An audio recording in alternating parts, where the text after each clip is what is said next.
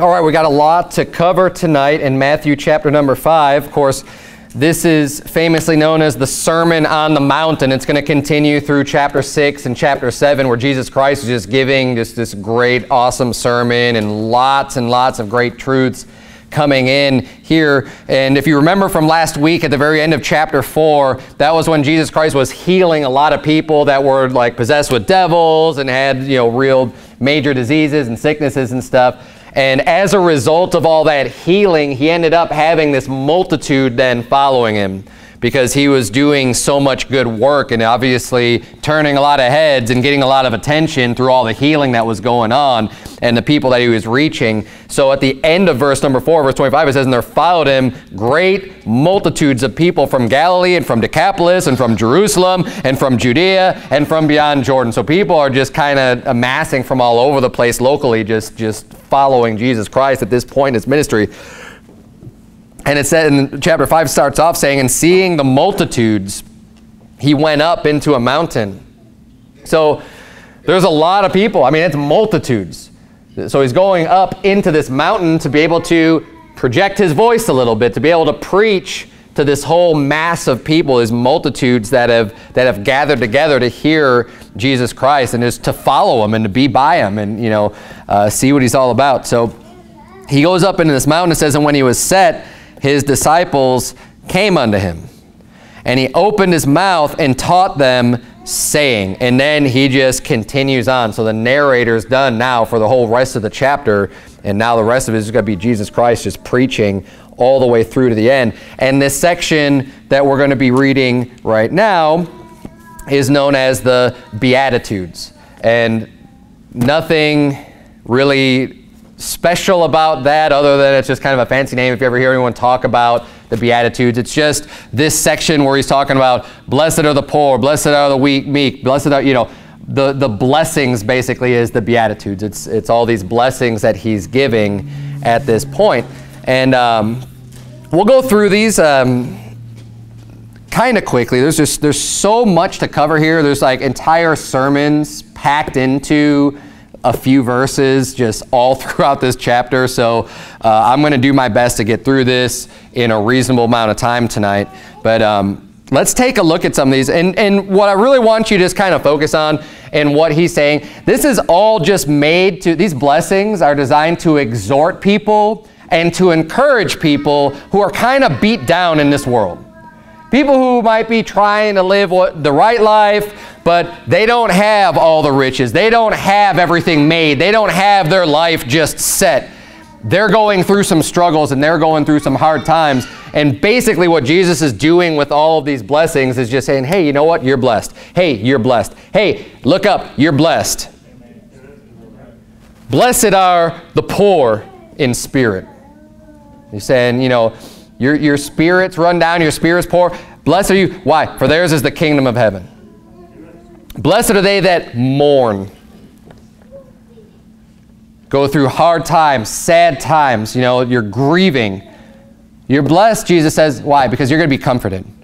Blessed are the meek, meek, lowly, humble people. Not all lifted up in themselves, not all lifted up in pride.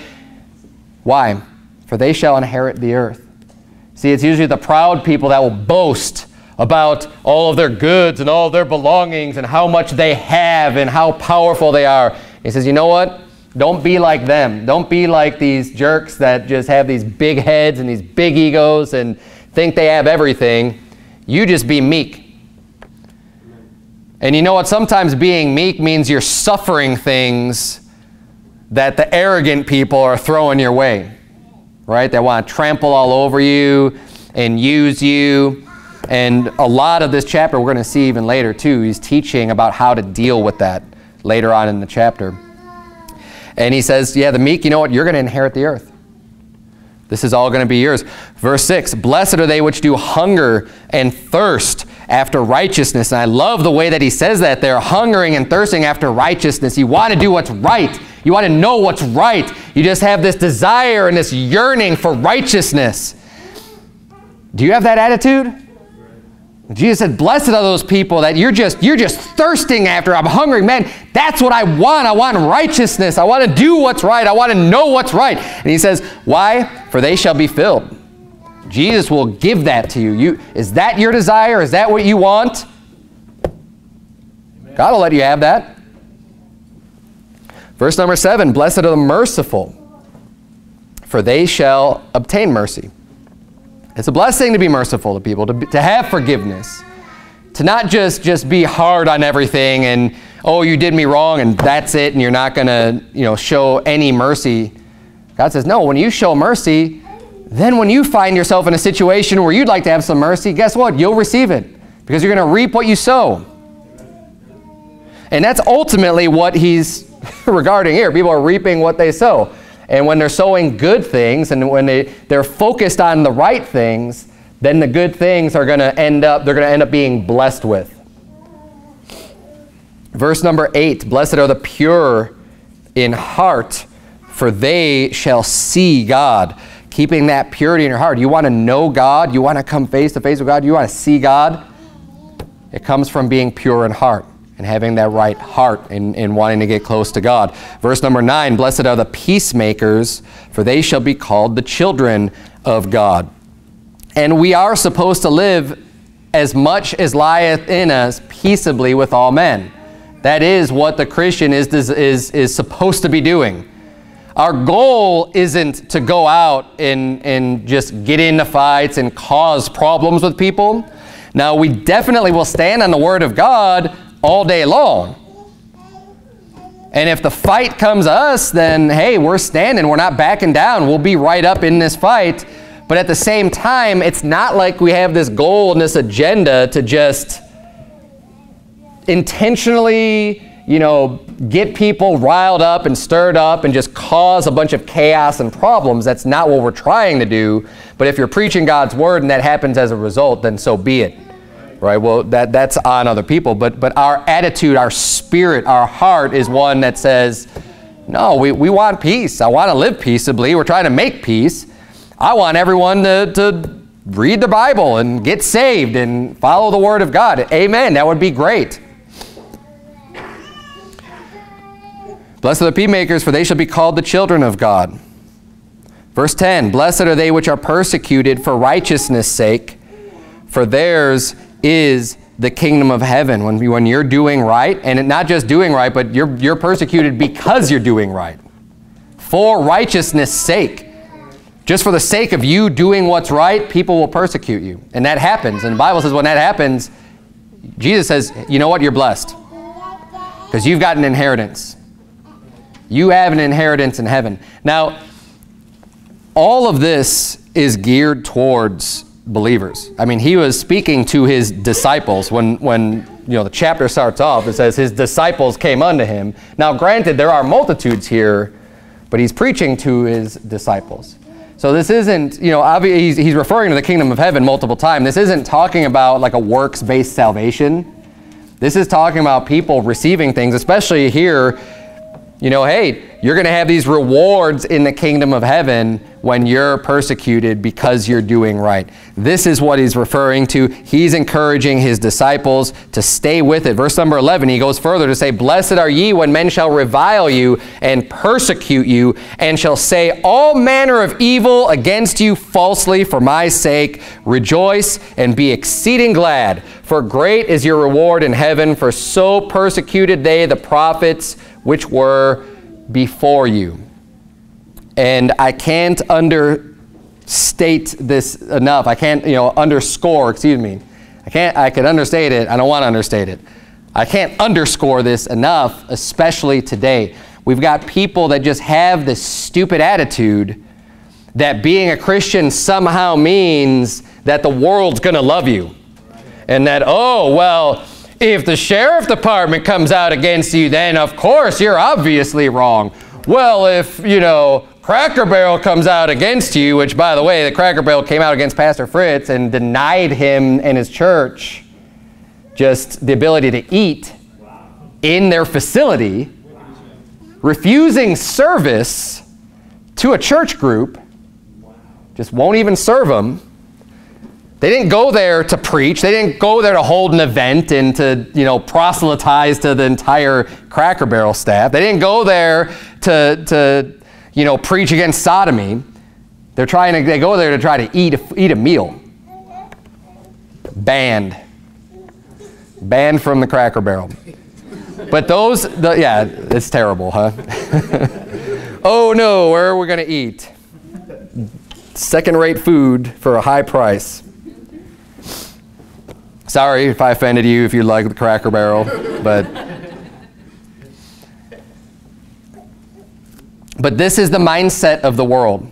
And not just the world, but this supposedly Christian world, right?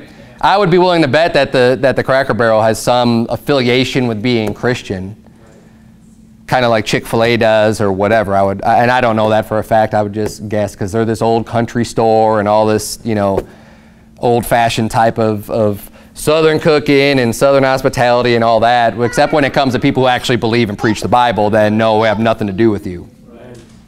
Well, fine, Cracker Barrel. We, we don't have anything to do with you either. you know, whatever. But this is that attitude. And what Jesus is saying here is that you're going to be reviled and persecuted, you know what? But you're actually blessed. So when you're doing what's right, when people are saying all manner of evil against you falsely for his sake, which is exactly what's happening to Pastor Fritts, which is exactly what's happening to Pastor Boyle right now. Why? Because they're standing on the Word of God. They're preaching God's Word as it is written. Just for what it says. They're not adding and spinning and twisting things off. They're literally reading the Bible and believing it literally. And preaching it. That's what it says. Leviticus 20:13 still says what it says. It hasn't changed and it doesn't need any interpretation. It means exactly what it said when it was written. What it meant when it was written, it means the same thing today. It has the same meaning. And God feels the same way about it. Amen. Why is that so hard for people to get through their skulls? But this is nothing new. And Jesus is trying to explain this and saying, hey, you're blessed when people say all manner of evil against you falsely for his sake, right? Things you don't even do. And they're trying, they're trying to accuse Pastor Fritts, oh, now we have to go back and look at all these cases where these homos were tried and prosecuted. No, you don't need to look at them because they're probably guilty because they're filled with all unrighteousness anyways. Right. He was just doing his job. He's not allowing, you know, they're, they're basically just accusing him of not having integrity which the man has integrity, but they're reviling and persecuting and saying all manner of evil against it, but it's false. And the whole purpose is because of what he preaches. But you know what? He's blessed. According to Jesus, these men are blessed. And he goes further to say, you know, rejoice and be exceeding glad. Hey, be happy about that.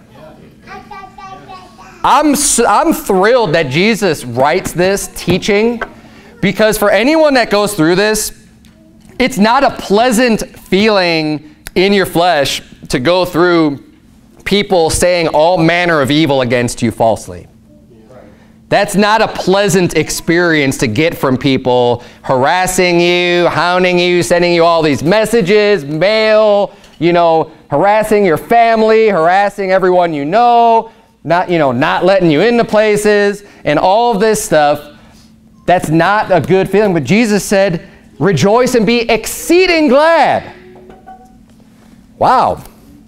Why? Because he sees all of the wrong. And for as much wrong as you go through, and you take that patiently and you go through that, Jesus says, I've got a lot more waiting for you Amen. on the other side. I'm going to make amends. I'm going to make it right. And he says, For so persecuted they the prophets which were before you. All the prophets of God, all of them, have gone through persecution. All of the prophets have suffered at some point in their lives, they've suffered persecution, they've done things wrong. Why? Because if, they, if they're following Christ, if they're following the Lord, Yea, all that will live godly in Christ Jesus shall suffer persecution. That statement isn't just true for the New Testament. That statement has been true all throughout history. And that's why he says, hey, be, Be happy. Why? Because the prophets that came before you, the prophets, the minor prophets, the major prophets, the prophets of the Old Testament, they were also persecuted.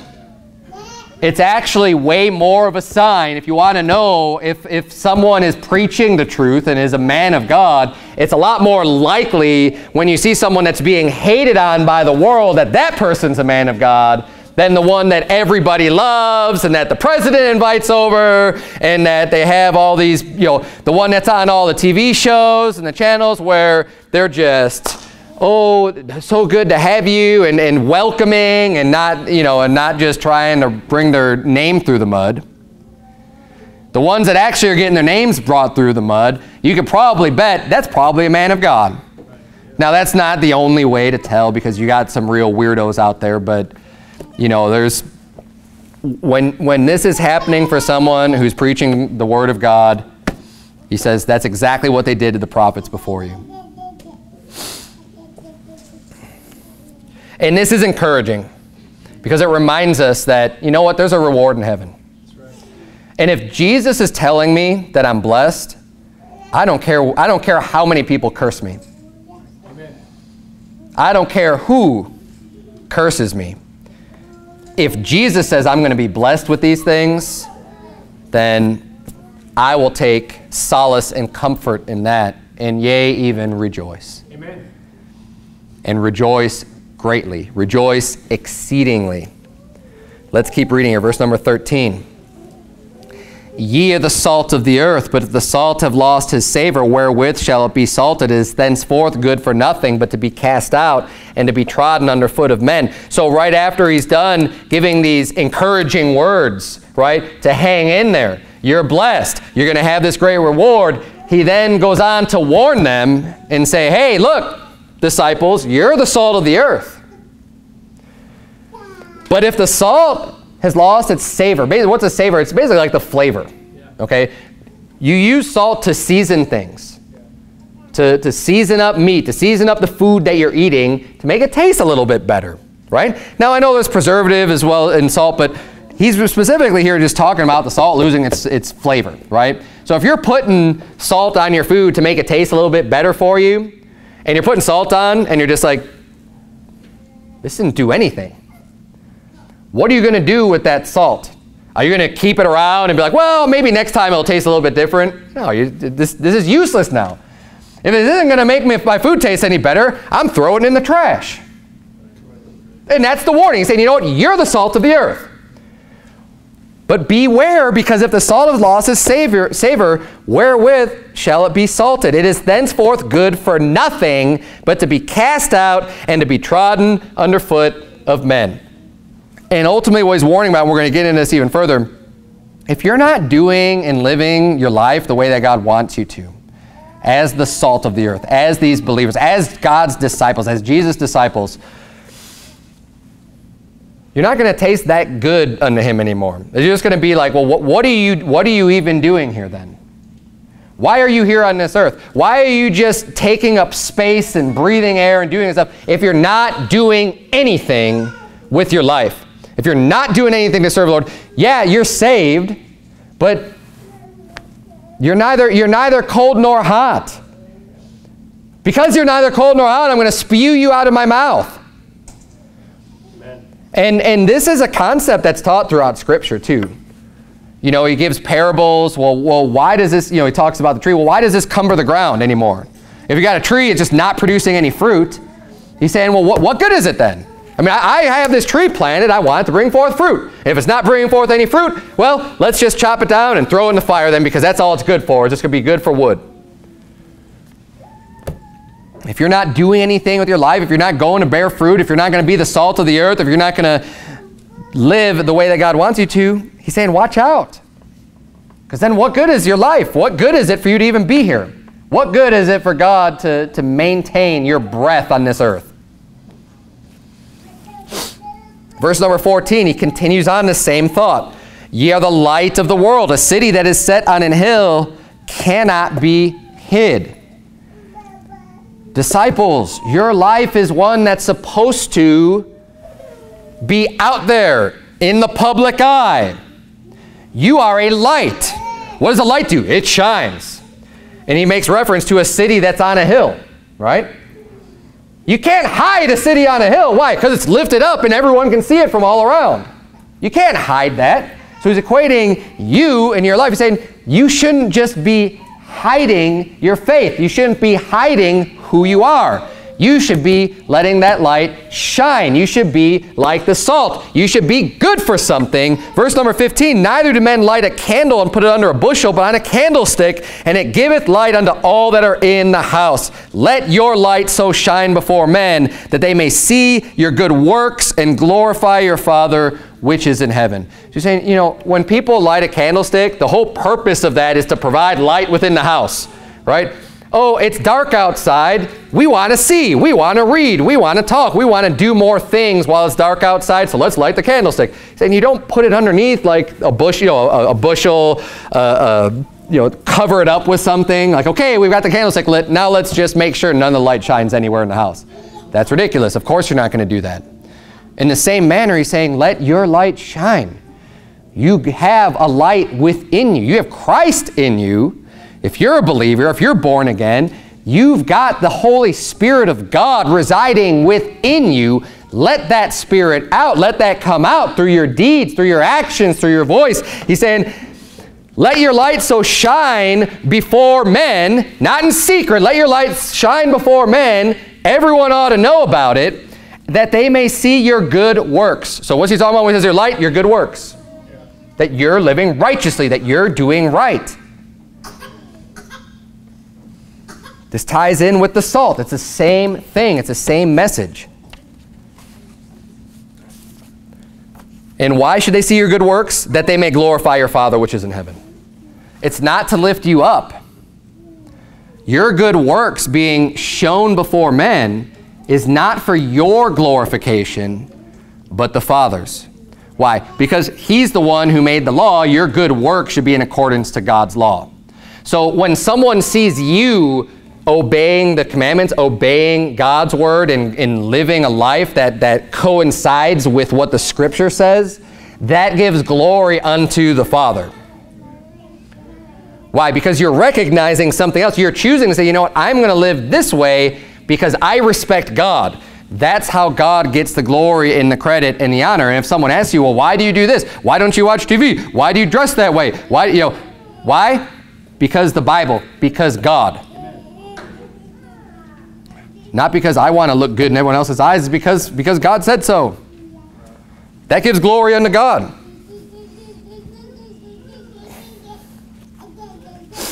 Look at verse number 17 another passage that the haters just, just need to, to read other than, you know, like Matthew 7, 1. They, they need to come back and read Matthew, because before you get to Matthew 7, you got to read through Matthew 5. Earlier in Jesus' ministry, he's not doing away with this by chapter 7, by the way, which is all part of the same sermon. He's not just doing away with this. He says in chapter 5, verse 17, Think not that I am come to destroy the law of the prophets. Oh, but, but you're a Christian. You're new, you should believe the New Testament. What about the New Testament? Think not that I am come to destroy the law or the prophets. The law, the books of Moses. The prophets, the rest of the Old Testament. Are we doing away with that stuff now because we're in the New Testament? Nope. Is it just destroyed? Oh, Leviticus 20:13, that's, that's just the Old Testament, but we don't live in the Old Testament anymore. We live in the New Testament now. Think not that I am come to destroy the law or the prophets. Don't think that. That's a stupid thought. That is a foolish thought to think that just because Jesus Christ came, that the law is null and void. I am not come to destroy, but to fulfill. Jesus kept the law. He came, I came to follow the law. For verily I say unto you, till heaven and earth pass. Has heaven and earth passed yet, by the way? Because I think we still are on the earth right now. It hasn't passed away, right? In the past 2,000 years, it's still been going. Okay, make sure I didn't miss anything. Till heaven and earth pass. So it hasn't passed yet. One jot or one tittle shall in no wise pass from the law till all be fulfilled. Has all been fulfilled? If all hasn't been fulfilled, has one jot or one tittle then passed from the law? No. Pretty simple, isn't it? Wow.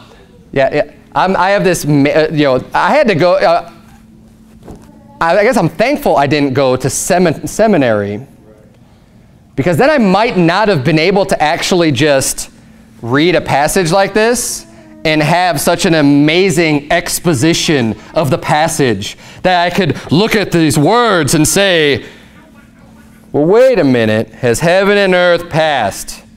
No?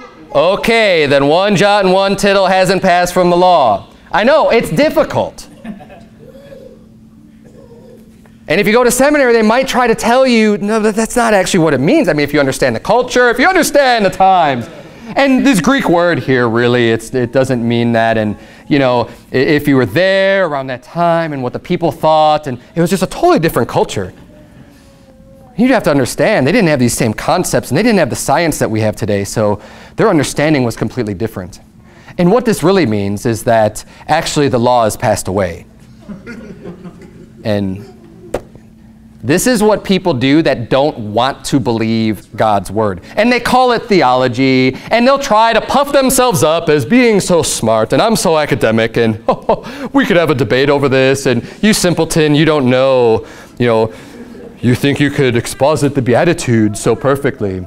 You, so, you ignorant fool.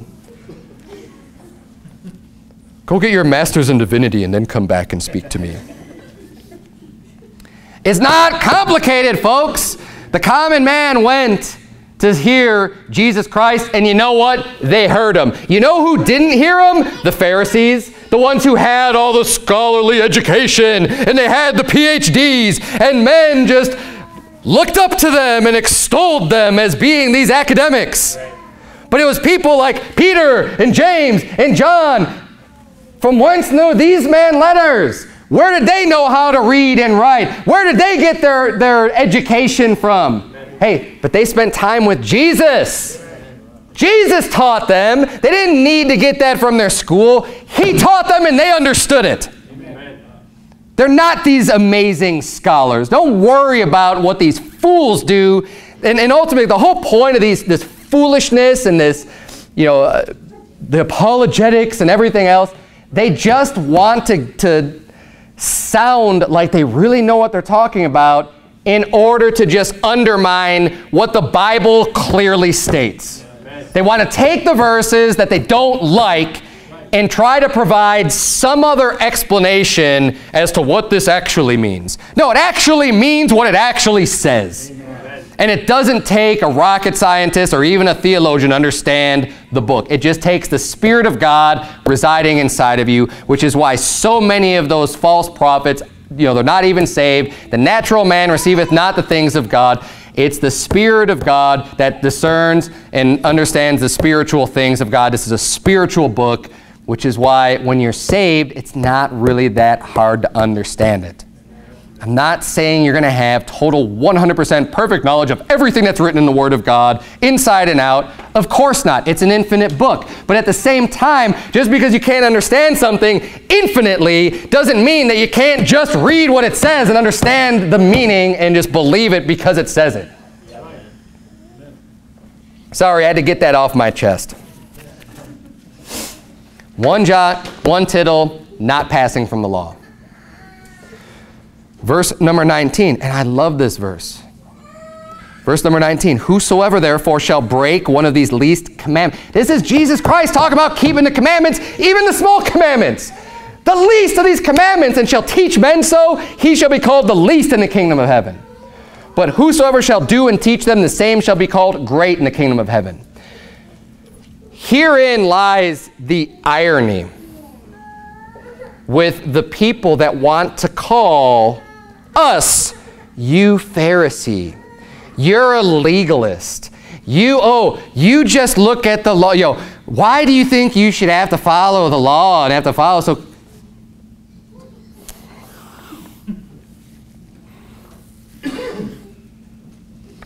Are you teaching that we shouldn't follow the least of the commandments? And is that what you're teaching me? That you don't obey it and you're going to teach me that? Well, nice to meet you, Mr. Least. Because that's what you're going to be called in the kingdom of heaven. That's what Jesus said. Anybody that breaks the smallest commandments and teaches everybody, oh yeah, that's okay. Oh, you're not convicted of that, don't worry about it. No big deal. You're least. Right. And then the contrary side is whosoever shall do and teach them. It doesn't just say do. It doesn't just say, well, the people who just follow it, but they don't ever say anything to anyone else because then that would be judgmental. It says, those that do them, yes, even the smallest commandments, and then teach other men, hey, we ought to be doing this. The same shall be called great in the kingdom of heaven. This is so confusing, I know. These are just really difficult concepts to get across. Jesus specifically teaching that people should be doing and teaching even the least of the commandments. Turn, if you would, real quick to Matthew 23, verse number 23.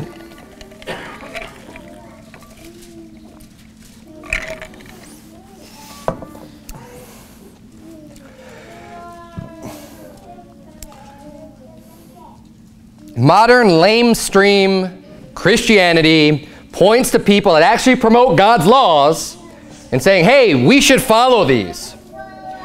And so, you know, they call those people Pharisees. Oh, you Pharisee.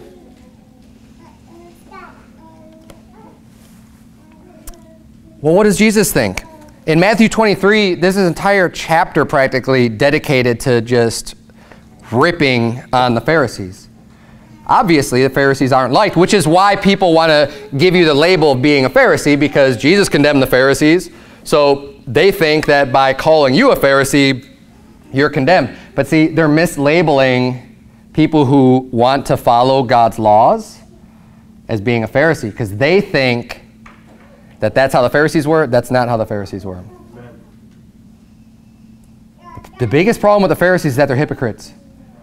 That's why, as Jesus is railing on them, like in every single verse of Matthew 23, he says, Scribes, Pharisees, hypocrites. Scribes, Pharisees, hypocrites. Scribes, Pharisees, hypocrites. They're not three different groups.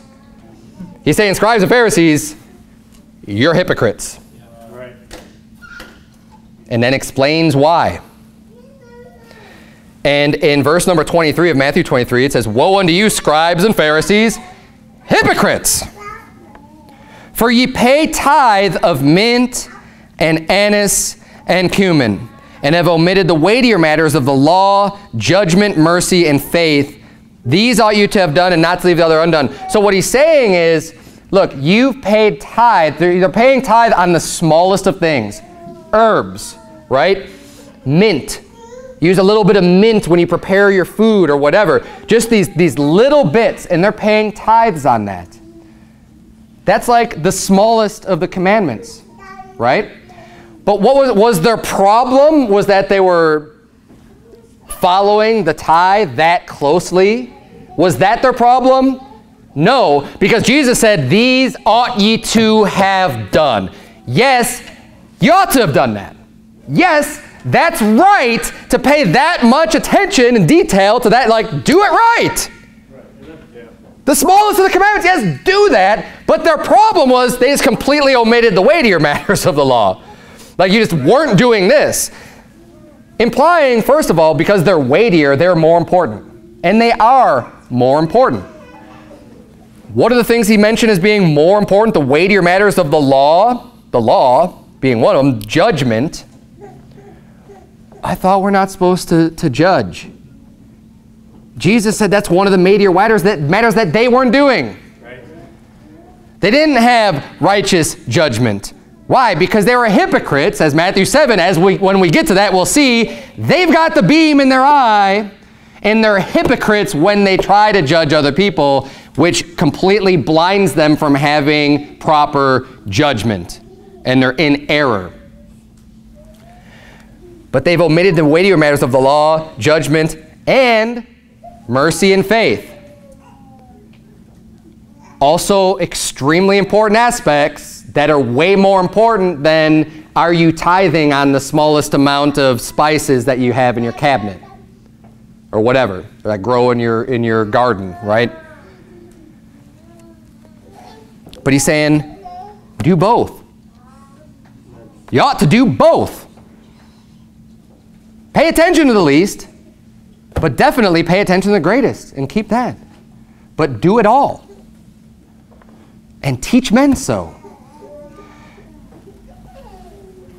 Go back to Matthew chapter 5.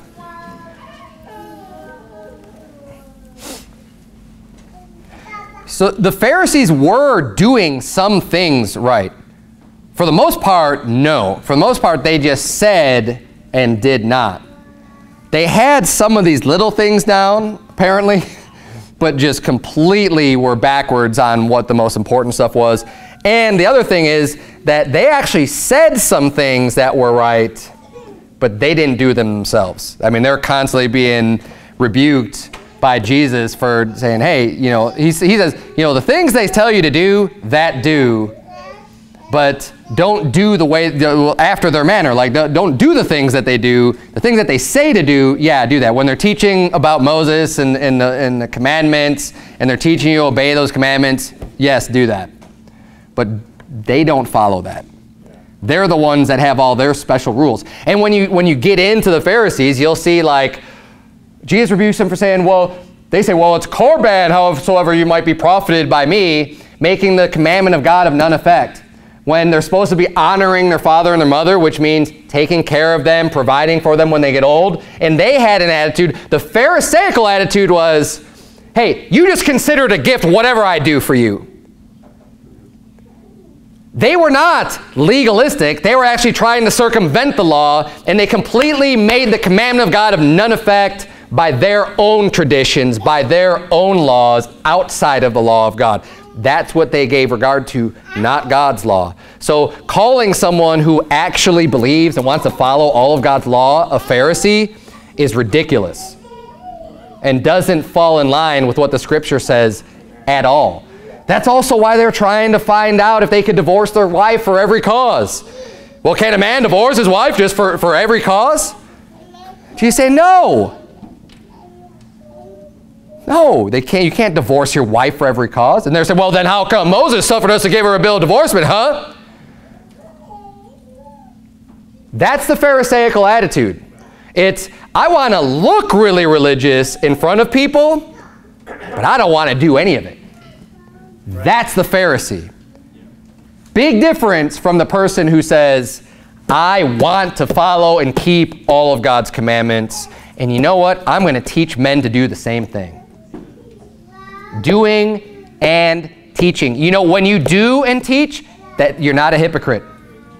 When you do and teach, Matthew 7 isn't applying to you of having some beam in your eye because you're doing.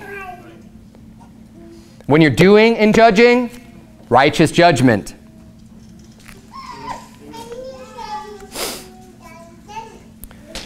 Verse number 20, Jesus says, For I say unto you that except your righteousness shall exceed the righteousness of the scribes and Pharisees, you shall in no case enter into the kingdom of heaven.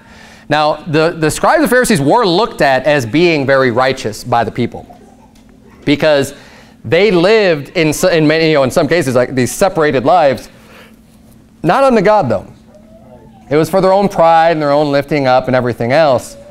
But just as you can see like the Pope today, right, it's probably a great example of a Pharisee. Someone who has the long garment on and loves the greeting in the marketplace and loves when people bow down and kiss his ring and loves all the adoration and everything else. And people, many people just look to the, oh wow, the Pope is so holy. The Pope is, I mean, the Pope. He's just amazing, this amazing man of God, right? Well, Jesus is saying, you know what, except your righteousness shall exceed the righteousness of the scribes and Pharisees, you shall no case enter in the kingdom of heaven. And that's true. See, the problem is that we're all sinners, And we don't have righteousness. We need the righteousness of Jesus Christ imputed unto us, which far exceeds any man. No matter how much in your own eyes even you lift up certain people and you think, well, wow, they're so holy. Well, I mean, if I have to be more righteous than that, then how can I get into heaven? Well, you can't. Unless you have Jesus' righteousness imputed on you because you put your trust in him, because you believed on him. Then you have the righteousness of Jesus Christ, which, yes, that is enough to get you in.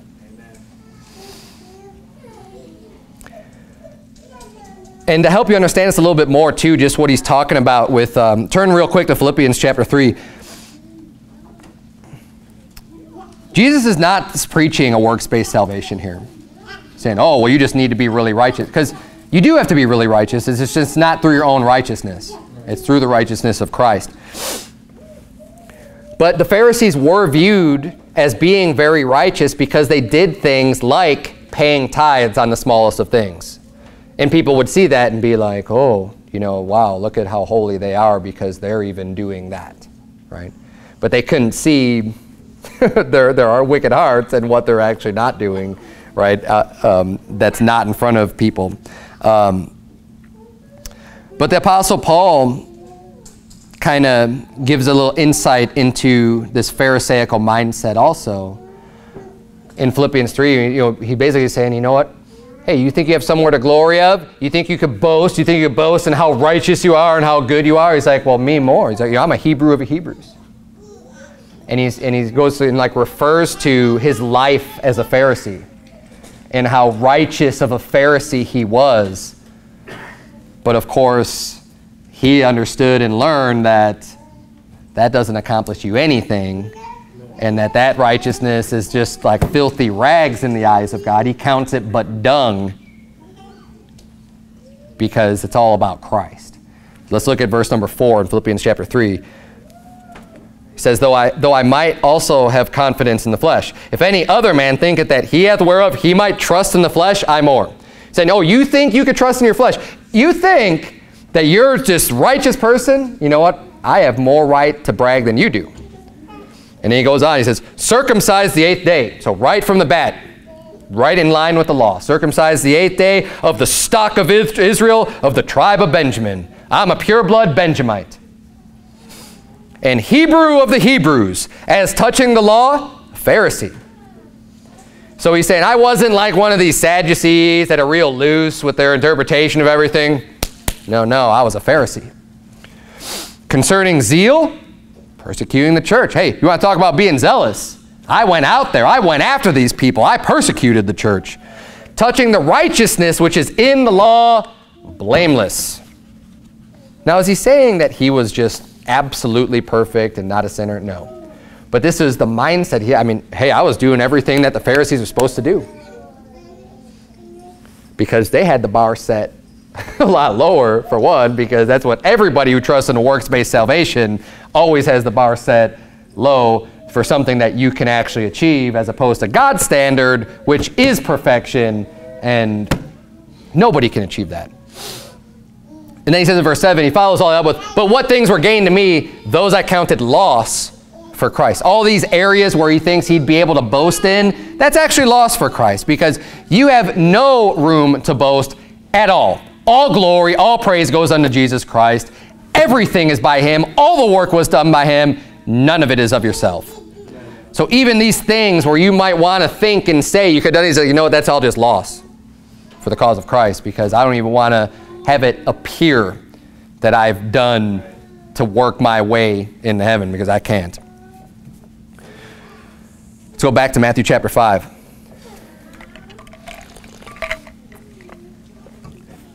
Following, continuing on with Jesus' teachings of no, I didn't come to destroy the law, but to fulfill. And, and he, you know, because he started off saying, hey, be the salt, be the light, let men see your good works. He wants you doing the good works. He wants you following the law. He warns us about it. He says, you know what? Keep the smallest of the laws. Teach men to do that. That's going to make you great in the kingdom of heaven. And now he's going to go in on a few different areas and essentially say, well, you know what? You heard this in the past. And he's going to make it, if anything, even more strict. Like, he's not loosening up on the Old Testament here. He's not loosening up on these laws. He's actually tightening up on it and saying, no, we're going to have a higher standard. Now, he's not changing the law. He's just giving them more information on how they ought to be viewing the law. Right? This always been true. And the concepts and the principles have always been true, but he's taking this. So my whole point is that people who want to say, well, Jesus did away with No, he didn't. No. You got to be even more strict with yourself. Let's keep let's start reading verse number 21. You have heard that it was said by them of old time. Now, look. First of all, I want to make this point. Many times when he makes this statement, you've heard that it was said by them of old time. Many times it is a law and it was actually written in the Bible, but not always. Just because something was said of someone from old time, he's not saying it's written in the prophets or it's written in the law of Moses or, you know, sometimes he will say that too. But just be careful with what you read and don't just assume, you know, because someone might read that and say, oh, well, he's using the word of God here. He's, you know, he's referencing the word of God here. But then here it says something different. I don't remember reading that. Oh, is the, is the Old Testament now screwed up? Is it, is it corrupted because Jesus said, well, you've heard it said, and, and that's not in the Bible. So now we have to you know, not trust what the Old Testament says because Jesus was talking about something I don't know where it is. No. No, the whole reason why you don't have to worry about that is because when, he, when he's just saying, well, you've heard that it was said, he's not saying it was written in the Bible. Even though in some cases it is, right? It's it, just take the words for what they say. Yeah, I know. Take the words for what they say, right? Verse 20, when you have heard that it was said by them of old time, thou shalt not kill. Is that in the Bible? Yes, it is. Amen. It's in the Ten Commandments. And whosoever shall kill shall be in danger of the judgment. But I say unto you, so you've heard that, right? Now listen to what I've got to say about that. That whosoever is angry with his brother without a cause shall be in danger of the judgment, and whosoever shall say to his brother, Raca, shall be in danger of the council, but whosoever shall say, Thou fool, shall be in danger of hellfire. Now, another common theme we're going to see here also has to do with the way that you treat your brethren. Because he says here, whosoever is angry with his brother without a cause. And you're going to see in the next couple statements, a brother being, you know, not reconciled to your brother, having a brother having something. He wants the brethren to be at peace with each other. He wants us to be in unity of faith and uh, he says, you know what, if you're angry with your brother without a cause, that's a sin. You're in danger of the judgment. He's saying, yeah, of course, killing is a sin. And you're in danger of judgment by killing someone. But I'm saying, look, don't even let it get to killing. Because why do you kill someone? Because you hate them, right? Or because they did you wrong and you're, and you're going after them again, right? He's saying, before it even gets to that point, hey, you're just angry with your brother without a cause. Now you're in, in, in danger and you just say, Thou fool, you're in danger. So he's, he's, he's ramping it up and saying, Be careful about all of that stuff because that's all a sin. Verse 23 Therefore, if thou bring thy gift to the altar, and there rememberest that thy brother hath aught against thee, leave there thy gift before the altar, and go thy way. First be reconciled to thy brother, and then come and offer thy gift. Now, again, he's talking about, hey, my brother, I've got my brother's got a problem with me, and I, you just you remember you're you're going to serve God, you're going to you know you're going to altar, you're bringing a gift, and you realize, oh man, my you know you're already right with God. You're bringing a gift to God, but you're going, oh, wait, my brother's got something against me. He's saying, you know what? Just leave your gift right there and go and, and get things right and get them straightened out with your brother. Then come back, right as you were. And basically, what he's doing is he's stressing the importance of not letting these, these strained relationships with your brethren just continue. He said, you know what? Deal with that right away.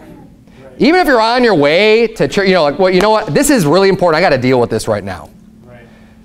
That's what he's teaching here. Now, I'm just going to bring this up. I don't know. I've only heard this from one person before. I don't know if it's a common teaching, but usually when you hear something once, it's been out there already by who, who knows how many other people might have heard this.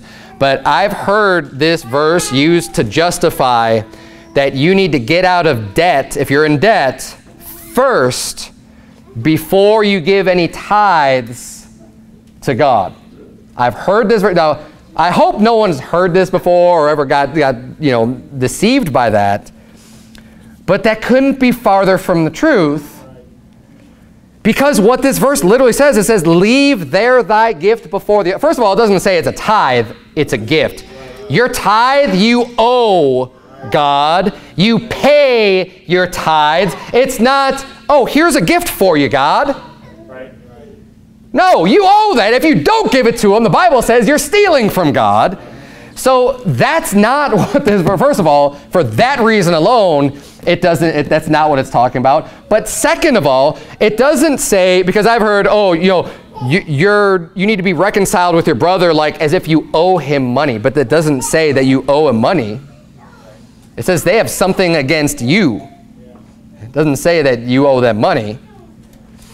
But it's also not saying, well, take that gift and then give it to your brother and then go and, and, and, and come back later and whatever. It says, no, leave your gift right there. That's still for God. Go reconcile yourself, come back, and give the gift. So it's not saying take that finances and that money and pay off your debts and then later on you can start giving.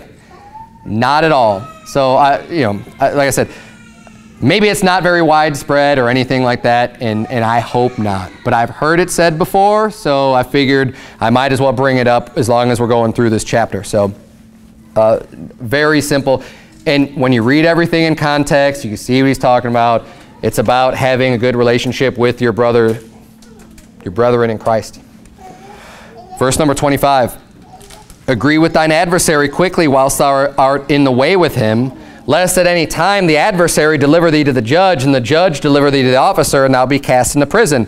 Verily I say unto thee that thou, thou shalt by no means come out thence, till thou hast paid the uttermost farthing. And I quoted this verse a little bit earlier, but I'll, I'll, I'll read it again. I actually have it in my notes. Romans 12, 17 says, Recompense to no man evil for evil, Provide things honest in the sight of all men.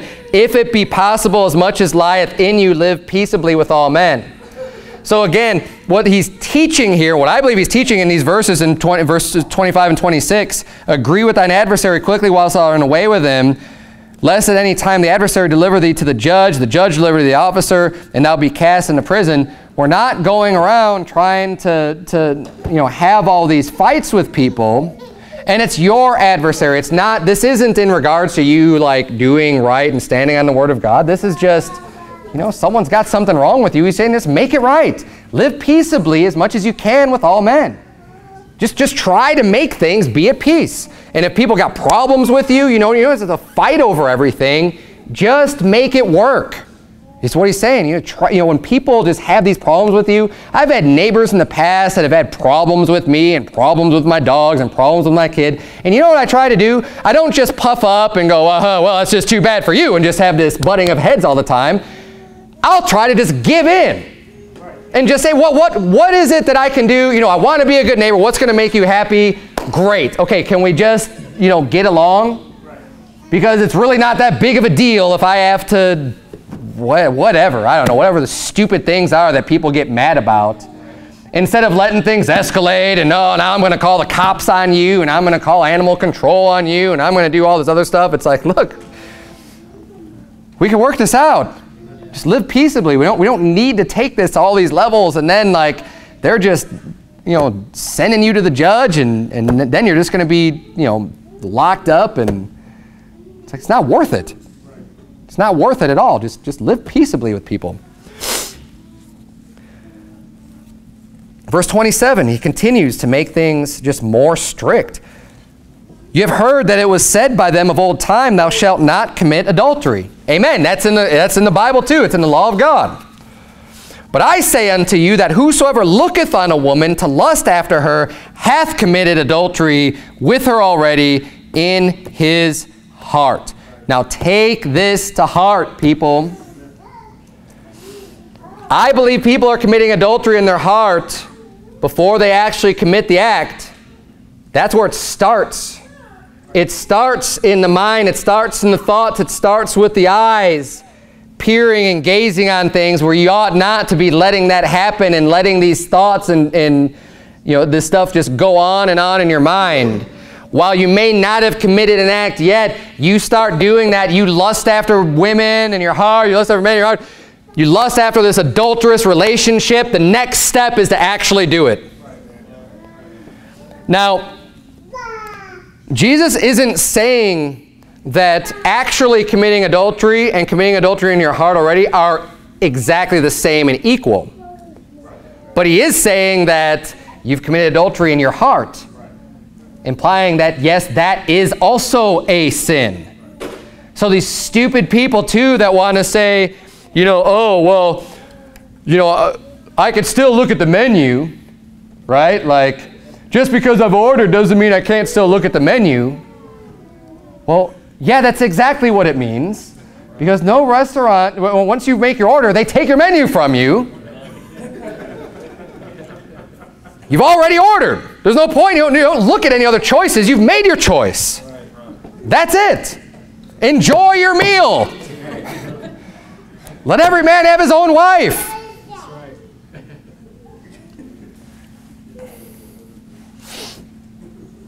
Now to help you though with this, with this lusting, because th this is a problem. And I think this is a bigger problem even than, than many may realize just because we don't really know how big of a problem it is because it's something that happens in people's minds. But considering we have so much adultery going on in general in our culture, this has to be out of control. Since we have such a culture that says it's okay for women to be walking around nude or practically nude, just, just walking around in their underwear because it's hot outside or because they're, they're swimming in a body of water, that that's okay. Well, what do you think men are going to be thinking of and lusting after when they see women practically naked? And if you're going according to Bible standards, they are naked. Because all those women that have all their thighs exposed and everything else and wearing these little tiny bikinis or whatever, they're naked. I don't care what little patch of, of garment you have covering some part of your skin. According to the Bible, you're naked. I'm not going to get into all of that. But we need to have a proper hatred for this sin. I mean, especially adultery. That you really need to learn to hate adultery. I mean, that, that ought to be just, I hate it. I want to have nothing to do with it. Because when you realize and can recognize, and, and especially men, because I think men have probably a harder time with this than women, and that Jesus uses the example of a man looking on a woman to lust after her. Men have problems with their lust in general with lusting after women. And when Jesus says, you know what, you've committed adultery in your heart, when you hate adultery, you're going to try to do something and say, you know what, I don't want to do that.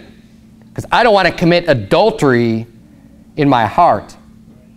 So when you hate that, it's going to force you to reevaluate and say, you know what, I need to do whatever I need to do to not do this. Like, like Job said, you know, I made a covenant with mine eyes. How then shall I look upon a maid?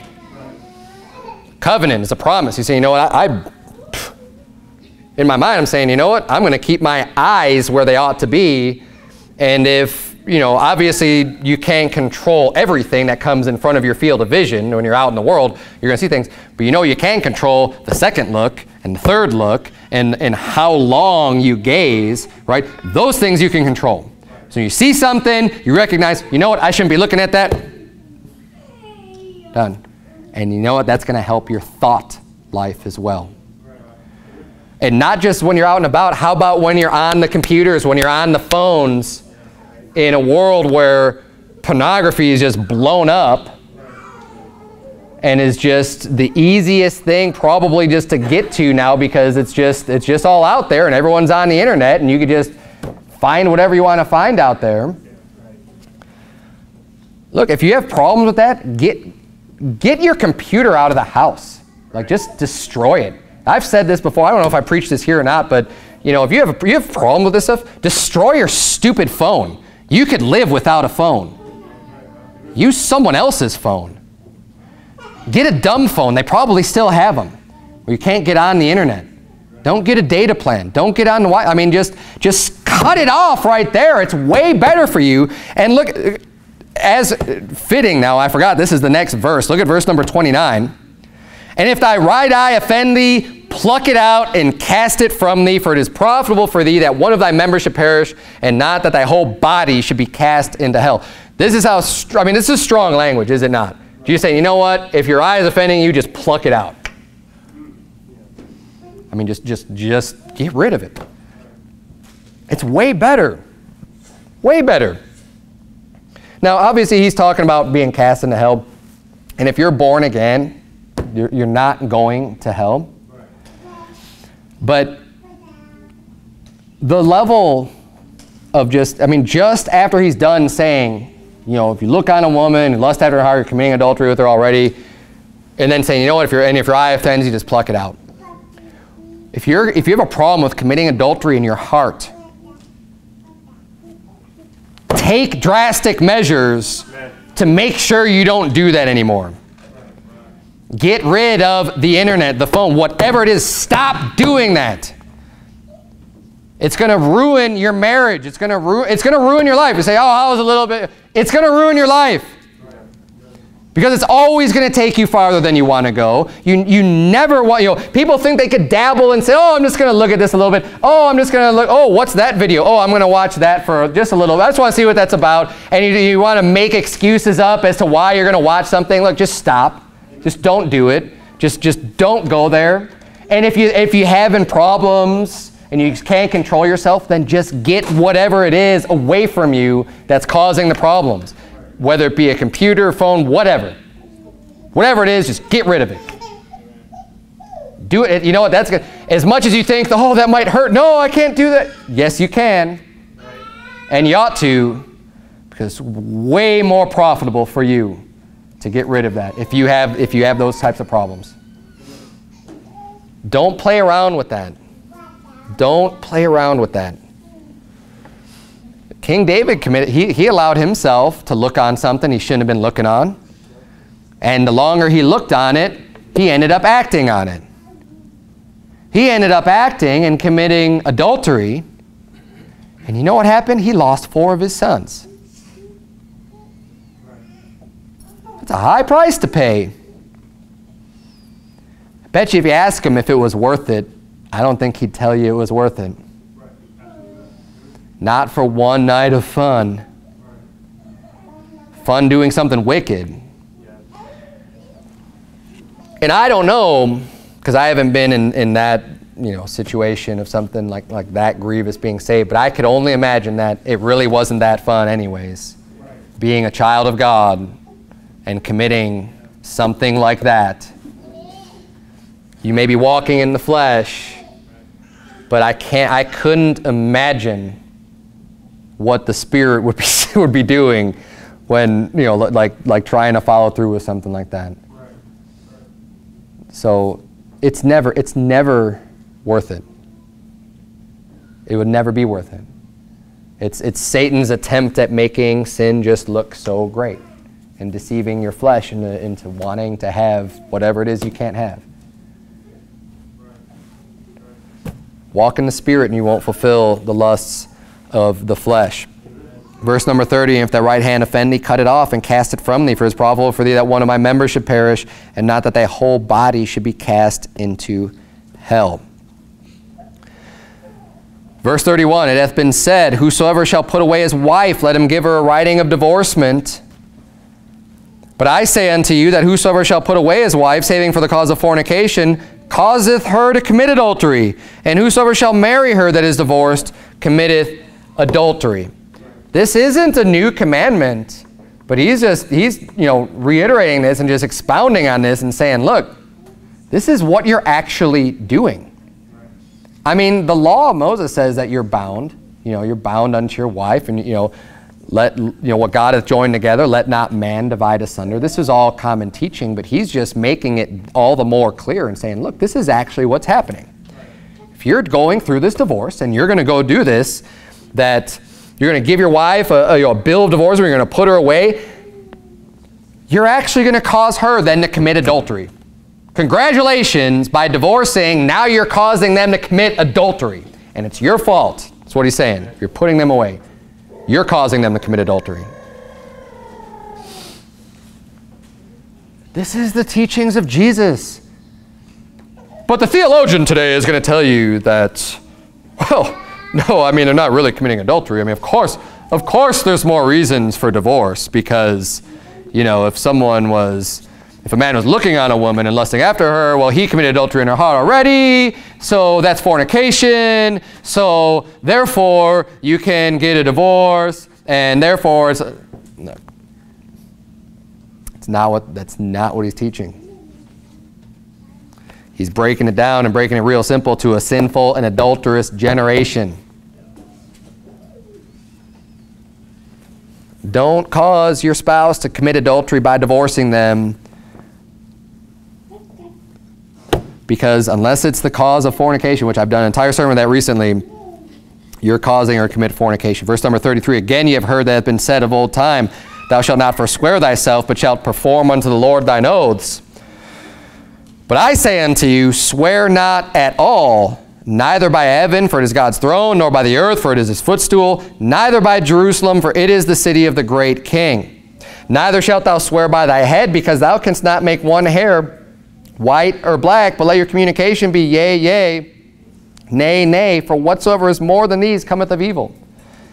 He's saying, hey, you know what? You've heard that if you, if you make a vow, you make an oath, then you better pay what you owe.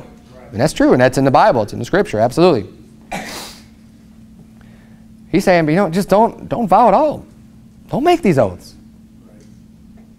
Play it safe, man, because that's serious. Committing adultery is serious. Breaking oaths is serious. He's saying, just keep yourself from this, and here's how you do it. Live a righteous life. That's what he's teaching you to do. Verse 38 Ye have heard that hath been said, An eye for an eye, and a tooth for a tooth. But I say unto you that ye resist not evil, but whosoever shall smite thee on thy right cheek, turn to him the other also. And if any man will sue thee at the law, and take away thy coat, let him have thy cloak also. And whosoever shall compel thee to go a mile, go with him twain. This is the attitude that a believer ought to have. Again, he's not changing the law. The law of the land in God's law is, you know, eye for eye, tooth for tooth, you know, like that's the law. But what he's saying is don't pursue people at the law when you've been wrong. Just, just suffer it. He's saying, you know, don't resist the evil. Just, hey, man, someone hits you, just give them the other cheek also. And, uh, and if someone sues you at the law, you know what, here, here's my coat, and, and you know, take that too. Take all my stinking money, right? Like, like whatever, just have at it. I don't care. That's not what I'm here for. It's not what I'm all about.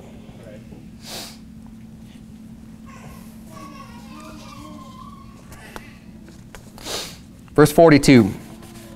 Give to him that asketh thee, and from him that would borrow of thee, turn not thou away. Ye have heard that hath been said, Thou shalt love thy neighbor and hate thine enemy. But I say unto you, love your enemies. Now, and this is one of the areas where it says, You have heard that hath been said, Thou shalt love thy neighbor. Love, love thy neighbor is in the Bible, but thou shalt hate thine enemies is not in the Bible. The only time we find hatred, you know, of, of a believer or a person of God is when they're, the, the person is hating God, right? Not your own enemies, not your own adversaries, just when people hate God, you know, the reprobates, that's who you hate. So, but people were teaching this and people were saying, hey, you know what? Love your, basically, love your friends, hate your enemies, right? Love your neighbor and hate your enemy. He says, but I say unto you, love your enemies, bless them that curse you, and do good to them that hate you, and pray for them which despitefully use you and persecute you, that ye may be the children of your Father which is in heaven, for he maketh his sun to rise on the evil and on the good, and sendeth rain on the just and on the unjust. And I want to caution everyone, because of all of the things that have been going on lately, because of all the focus on the reprobates and the sodomites and everything else, that we don't lose this teaching. Don't let this slip by. I don't want to overblow the attitude, you know, and the, and the hate against the, the sodomites, the queer, you know, the, the, the people who hate God, and allow that to become too big of a part of your life where you're starting to now apply that towards people who it's not intended to be applied towards, like your own enemies. Just because people say evil about you, or smite you, or despitefully use you, or hate you, doesn't mean that they're a reprobate. So, don't think that they are and act like they are because Jesus is saying, love your enemies, bless them that curse you. So don't get all, you know, feathers ruffled when someone hates you to where you think it's okay to hate them back. Now, the reprobates are going to hate us. But like I said, they're not the only one. So just because someone hates you, you can't just assume that they're a reprobate. You can't do it.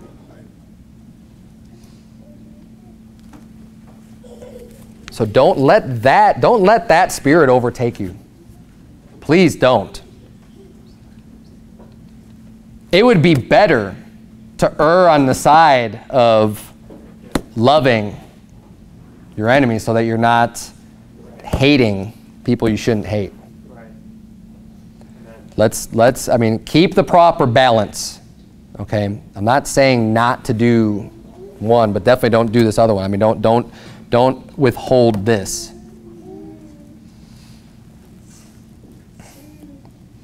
Verse 4 because this this is this is a key teaching. I mean this is this is really important. Really important in the Christian life.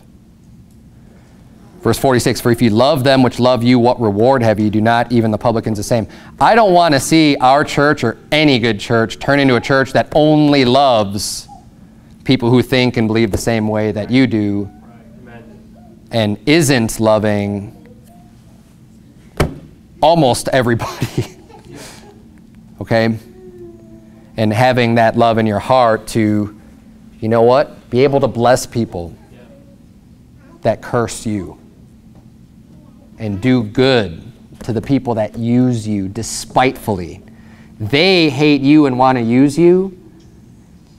You, in turn, should do good unto them. That's not easy to overcome. But if you're meek and you're humble, you can do it. Don't bow up and, and you know, you hurt me, I'm going to hurt you. Verse 47, and if ye salute your brethren only, what do ye more than others? Do not even the publicans so? He said, what makes you any different? That's exactly what the world does. Be ye therefore perfect, even as your Father which is in heaven is perfect. That's the, the, the goal, right? Try to maintain the, the attitude and the spirit of God Bible says, while we were yet sinners, Christ died for us. We didn't deserve that love. While, while we are just completely showing our disrespect to God by breaking His commandments and doing the things that He's told us not to do because of severe punishment, we do them anyways. And even though we do those things, God still commends His love in the fact that Jesus came and died on the cross for us. And Jesus himself was able to say, Father, forgive them, for they know not what they do. He blessed those that cursed him.